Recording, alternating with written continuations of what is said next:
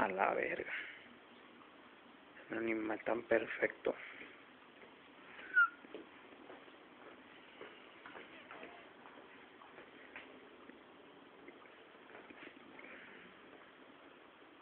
¿Qué onda, puto?